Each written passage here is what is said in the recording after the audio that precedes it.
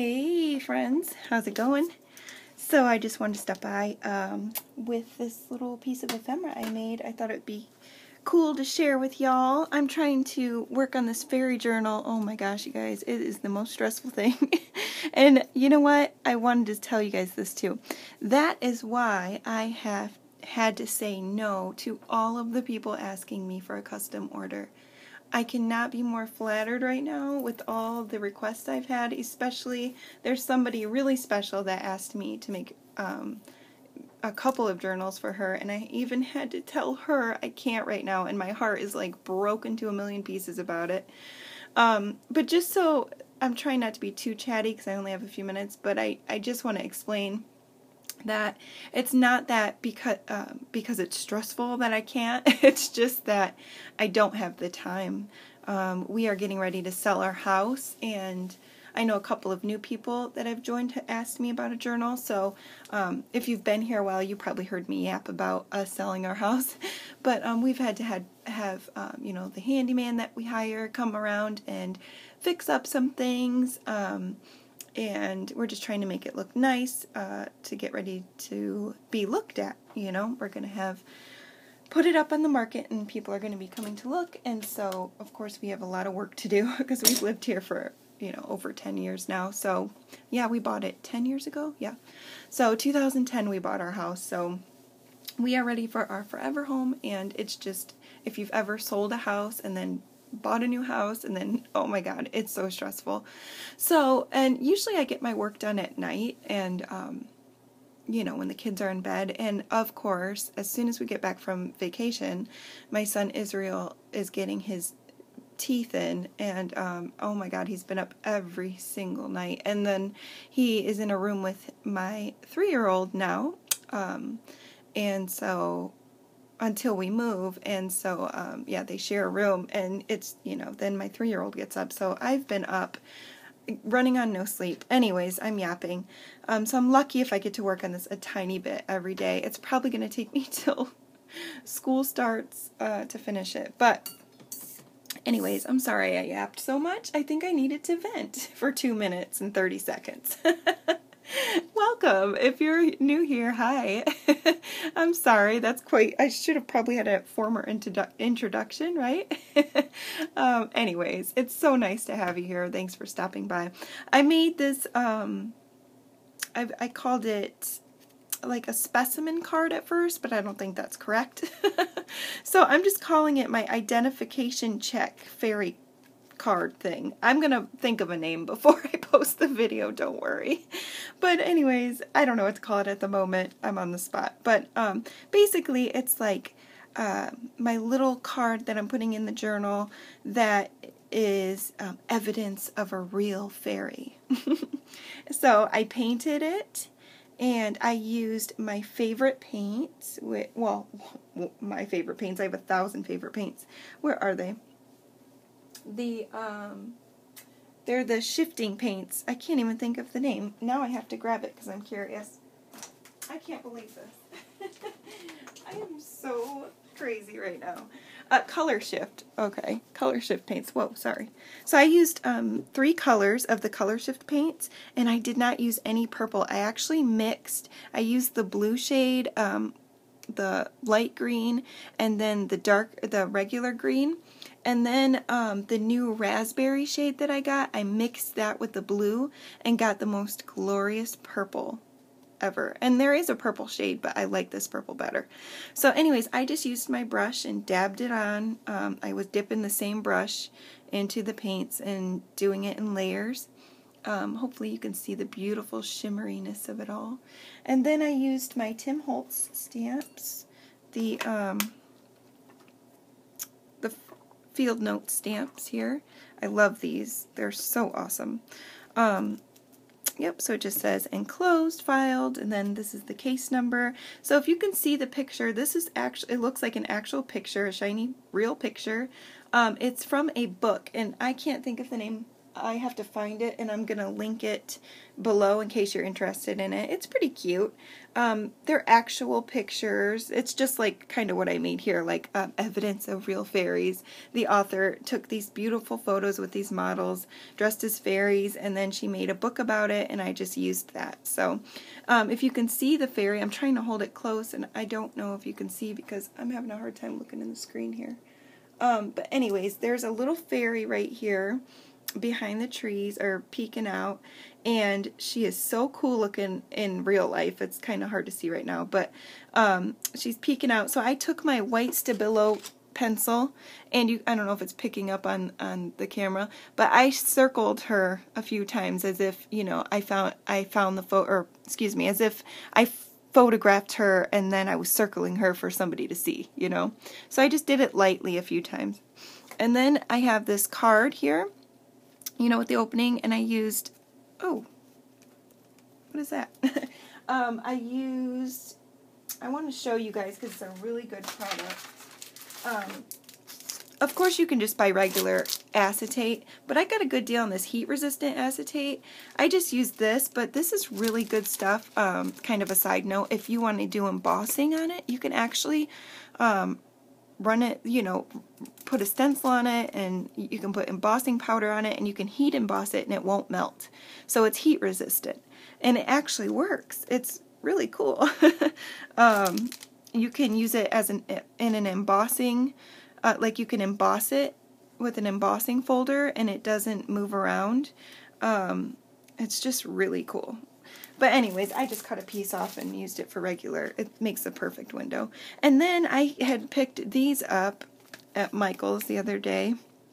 And I just love them. I have quite like the extensive collection now in the last couple of months, but I already had these ones. They're pretty.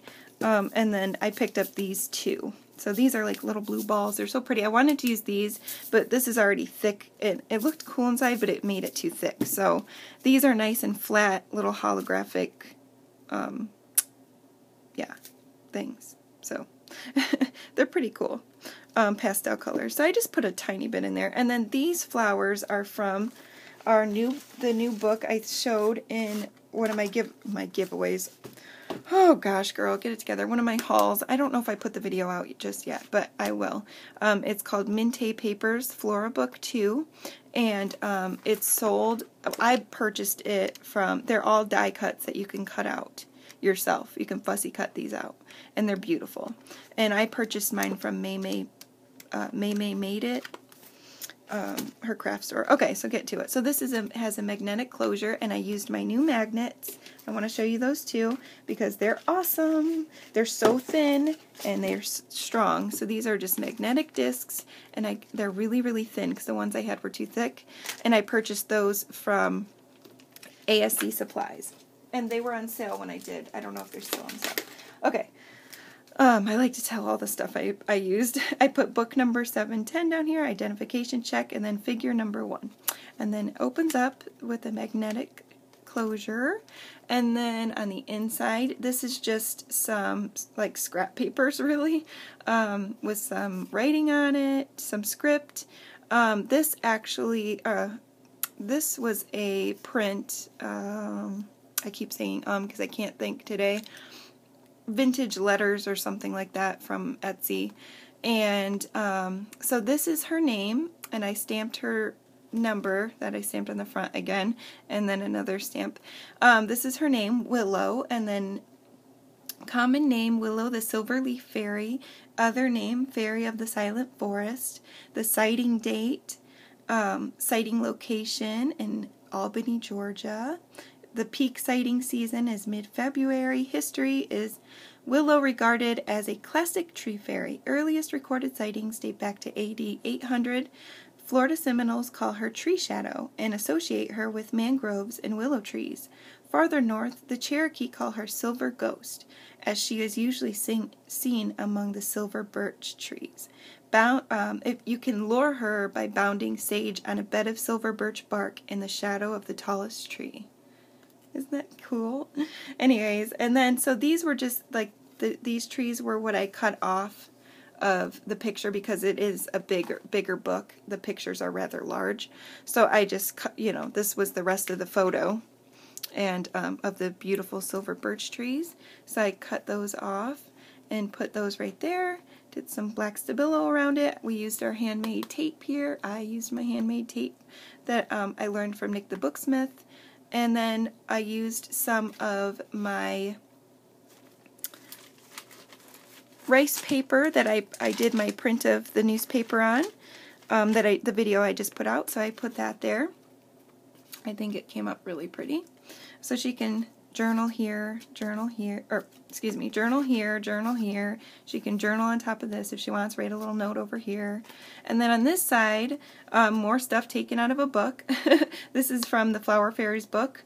Um, and it's just so useful. I cut out a bunch of stuff from that book um, for ephemera.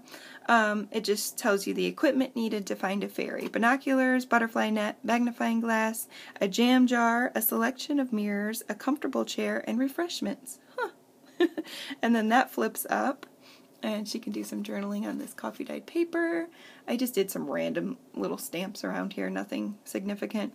Uh, some more tape, and then this says the best time to see a fairy uh, are at twilight, midnight, just before sunrise, mid and midday.